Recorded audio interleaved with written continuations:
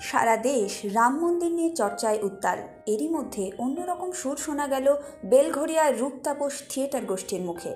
তারা বলছেন, হিন্দুত্ববাদের দাপটে হারিয়ে যেতে চলেছে ঐতিহ্য সংস্কৃতি, আর ভারতীয় সংস্কৃতি হল সম্প্রীতি, সর্বধর্ম সমন্বয়। রাম মন্দির আর হিন্দুত্বের দাপাদাপি কেড়ে নিচ্ছে সনাতন হিন্দু মুসলিম মিলনের সুর।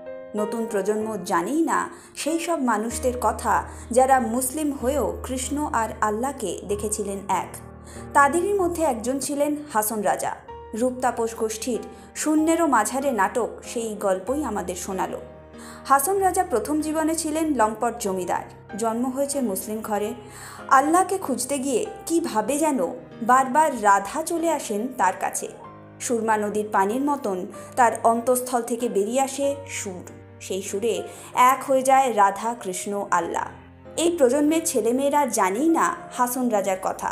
তারা শুধুই দেখতে পাচ্ছে রাম মন্দির ঘিরে হিন্দু উন্মাদনা। কোথায় গেল সেই কৃষ্ণ আর আল্লাহর মিলনের সুর? নতুন প্রজন্মকে এই বার্তাই দিতে চায় বেলঘরিয়া রূপতাপস গোষ্ঠী। এই সময়টায় দাঁড়িয়ে সবচেয়ে বেশ বড় যে ঘটনাটা ঘটে যাচ্ছে, সেটা হচ্ছে আমাদের ঐতিহ্য এবং সংস্কৃতিকে ভুলিয়ে দেওয়ার একটা চক্রান্ত চলছে। আমাদের পড়ার ইতিহাস বই থেকে সেগুলোকে মুছে ফেলার চেষ্টা করা হচ্ছে। এবং হচ্ছেও, ঘটছেও সেগুলো। স্টেশনের নাম বদলে যাচ্ছে বদলে যাচ্ছে ট্রেনের নাম, বদলে যাচ্ছে রাস্তাঘাট, নাম সব বদলে দেওয়া হচ্ছে, মুছে ফেলা হচ্ছে আমাদের ঐতিহ্যকে, সংস্কৃতিকে।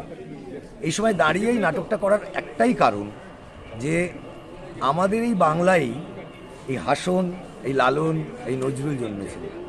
যারা বলেছেন মানব প্রেমের কথা। এই মানব প্রেমের কথাটাই এখানে সবচেয়ে বড় কথা। তারা বলেছেন যে আমরা বাঙালি। সেখানে কোনো ধর্ম ধরা হয়নি। এইগুলো মুছে যাচ্ছে, এইটাকে মুছে দেওয়া হচ্ছে। আমার মনে হয়েছে যে এই সংস্কৃতি, আমাদের ঐতিহ্যকে, আমাদের যে ইয়াং জেনারেশন যারা বড় হচ্ছে, এরপর যারা আসবে, তারা তো আর ইতিহাসের পাতায় আর এদের নাম খুঁজে পাবে না। তারা কেমন ছিল? তারা কেমন কেমন ছিল সেই মানুষগুলো, যে মানুষগুলো সর্বধর্মের কথা বলেছে? তারা কি করেছে? এইটা বোধ হয় জানানোর আজ সময় এসছে। তাই এই নাটকটি করে।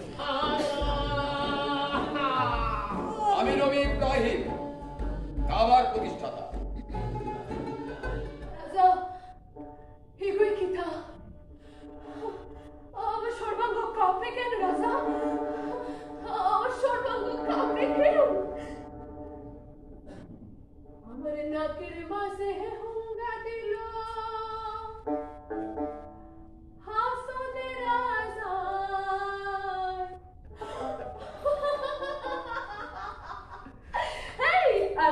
বিশেষভাবে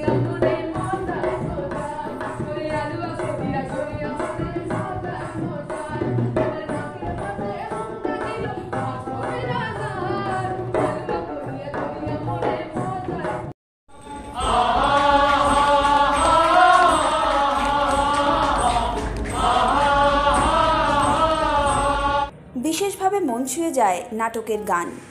সুরমা নদীর পানির মতোই উথাল পাথাল হয় দর্শকদের মনে। সুর ভাসিয়ে নিয়ে যায় হিন্দু মুসলিম বেড়াজাল। কিন্তু